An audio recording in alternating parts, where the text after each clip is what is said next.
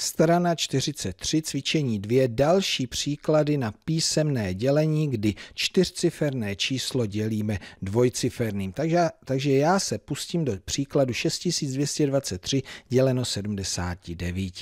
Tak, podívám se na první dvě cifry. 62 porovnávám ze 79, to je menší, to nemůžu to by se tam těch 79 nevyšlo. Přidávám si další cifru a 622 děleno 79 to už jde. Takže já si to tady takhle zatrhnu. No a teď si pomůžu za okrouhlováním. To máme jako 620 děleno 80. Tak, já si ještě pomůžu bez těch nul. 62 děleno 8, nejbližší nižší násobek. To by bylo nějakých 56, takže 620 děleno 80, to je 7 krát. Tak, 7 krát a násobím ze zadu.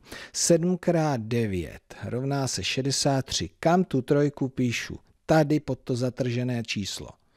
3. Tak, šestku nezapomenu. 7 krát 7, 49 a 6 rovná se 55. Pětka, pětka. Mínus, vezmu si pravítko. Tak, přiskoč pravítko, už seš tady. Podtrhávám a odčítám. 3 a kolik chybí do dvou? Nejde do 12, 9.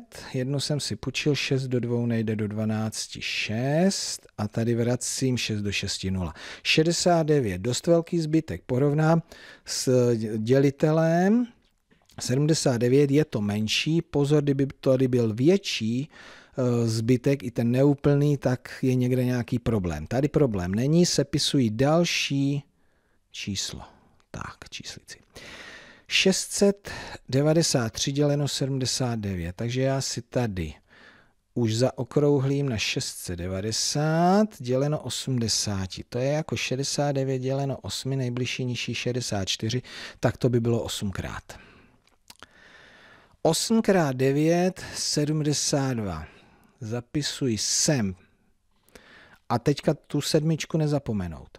8 krát 7, 56 a 7 je 63. Trojka, šestka, budu odčítat, abych se dopočítal zbytku.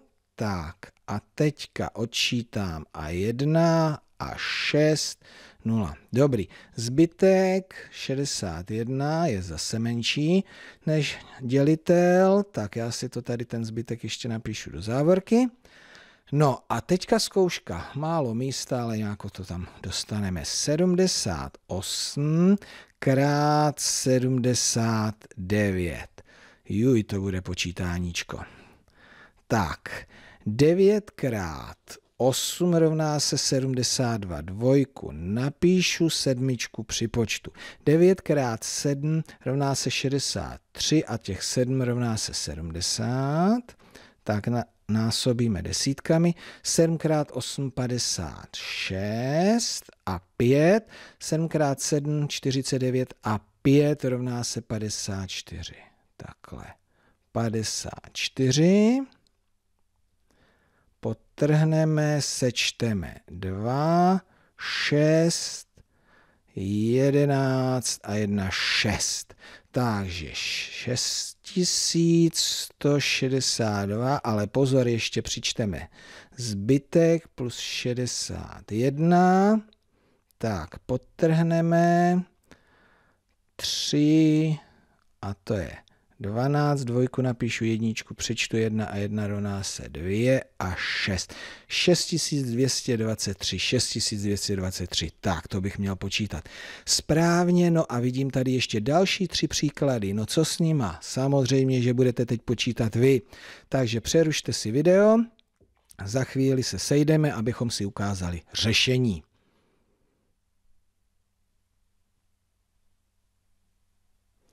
Tak který příklad se vám podařilo vyřešit?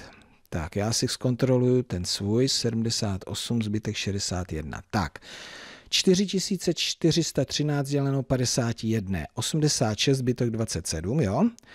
5785 děleno 94 rovná se 61 zbytek 51 a 6717 děleno 88 rovná se 76 zbytek 29.